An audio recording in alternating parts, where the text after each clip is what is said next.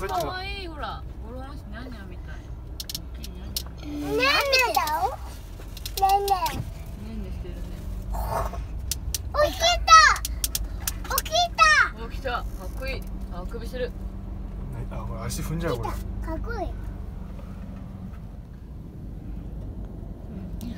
唇さやめてよってペロペロね仲良ししてるねうんかわいいこれかあれさ鍵さあ開いてないから。大丈夫？閉めてねおお 始まった。始まっちゃった。ちょっと。始まっちゃったよ。始まっちゃったって。やばい。始まっ怒ってるめっちゃ。なんで？たいやいやあのイチャイチャしてたからさ好きなこと。危ない。邪魔すんじゃなおおそりゃそうだよ。なそりゃそうだよな。かわいそうだ。ドラ危ないよ。あほら待ってる。何を待ってる？旦那さ。んもうねんねするじゃんお前行かない下の足も下あ傷うわかっこいい。すごい目の前挟める上がった上がった少しも待って順番ねうわすげえ何この傷かっけえネコと一緒だよひろきこれで待って少しマ待ってグロマグロじゃないお肉おあバリバリ聞こえる聞こえたバリバリ待ってちょっと待って待って終わり終わっちゃった匂いあも落ちったいないちゃったもったいないママのママのあちっちゃくてごめんねいねでも顔が可愛いねほらすごい待ってる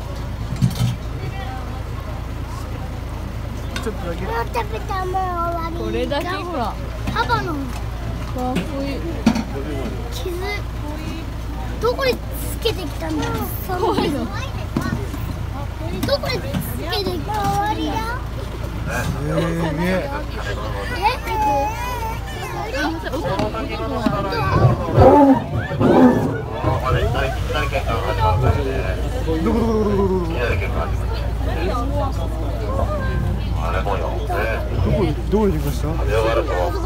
ね、結果ですからね、はいね。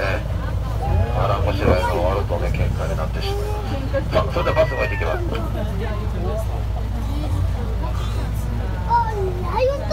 めっちゃぐるぐるさっきし下から。かわいい。はい、じゃあ、それで行きます。ハサミ。音音ハサミ。は音ハサミ。多分あともうハサミ使わないでしょバイバ